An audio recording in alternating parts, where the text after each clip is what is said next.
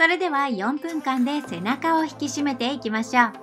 まずは手で歩くところから。肩幅に足を開いて肩の真下に手首が来るまで歩いていきましょう。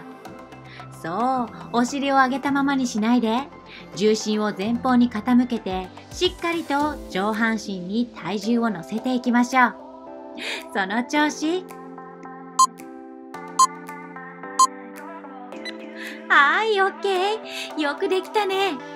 今度はお尻を天井に突き上げていきましょう。肩の真下に手首をキープして。そう、お尻をぐっと持ち上げたら内臓を持ち上げるようにお腹をへこましていきましょう。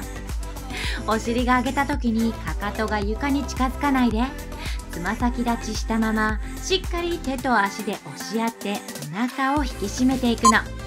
その調子。はい、オッケー。いいよ、その感じ。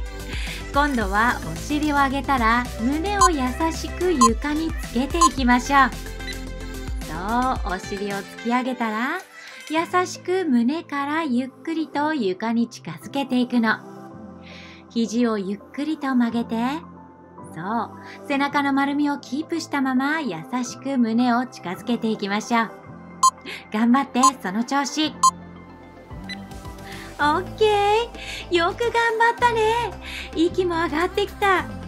今度は片手ずつゆっくりと後ろに引いていきましょう。引いた時に肩甲骨が内側に締まるのを感じて。そう。お尻が上がりすぎないで。重心を前方にキープして。かかとがしっかりつま先の上にあるのをキープしたまま動作していきましょう。そういいよ。その感じ。オッケー。これでもう半分来たよ。今度は今の肘をついて引いていきましょう。背中に丸みをキープして。そう。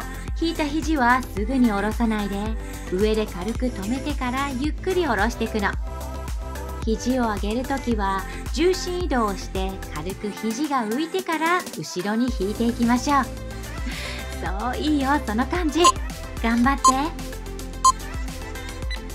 オッケー。よくこらえたね。今度はもう一度肘を伸ばしていきましょう。手を左右交互に動かしていきます。まずは前。そして横。指先が肩の高さまで上がるのを意識してみて。お腹をぐっと締めて。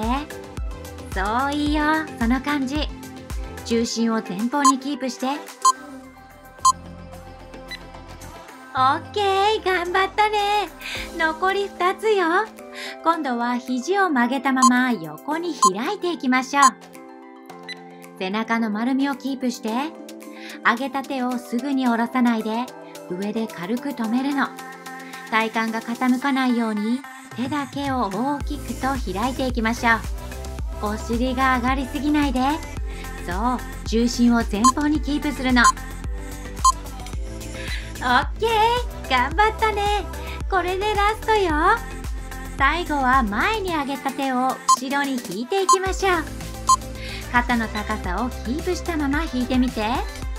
そういいよその感じ。肩甲骨が動くのを意識してみて。重心は前方にキープして肩の真下に手首があるのをキープして。あと少し。頑張って。そういいよその感じ。オッケー。お疲れ様でした。